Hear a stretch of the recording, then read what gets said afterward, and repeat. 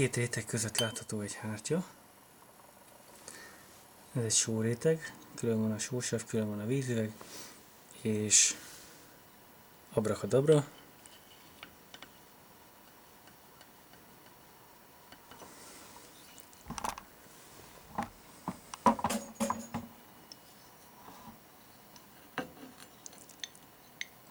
A só ebben a pillanatban kicsapódott.